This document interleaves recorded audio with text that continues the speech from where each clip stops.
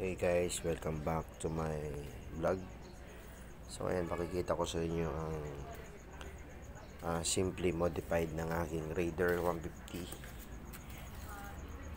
So medyo madumbi nga lang.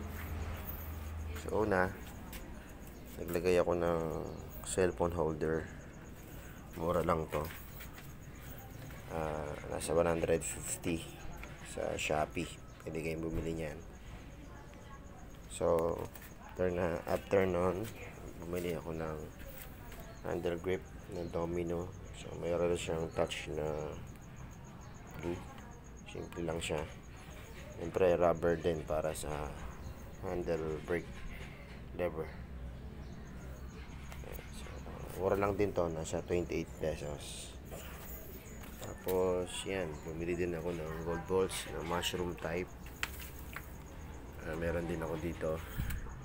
Gold balls naligyan ko siya apat kabilaan. So, ito rin. Buli din ako ng gold balls din. Mushroom type din. So, bumili ako ng cover ng radiator. Yan so mura lang yan. Ah, 170 pesos lang. So after nun ito meron din ako dito ng gold balls all uh, worth 75 pesos isa. Ganun din dito. Uh, same mushroom type. Wala pa akong halos binibigay na design or bolt. Pero may, may sticker naman ako dito. Ang anak ko si J-Best sa kabila naman si Jared. So ito. Uh, gold bars din siya. Ito ay worth 35 pesos isa.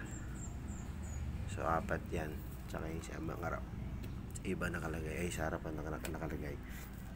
So mura lang konti-konti lang ang set natin. Ah, tapos yun. Naglagay din ako ng Jordan dito.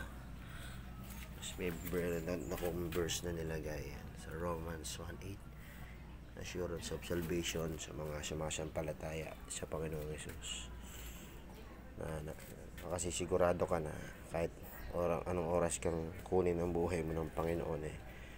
Sa langit ka pupunta. So yun lang po. Salamat po. Ah, update ko po kayo sa susunod na ating video. Thank you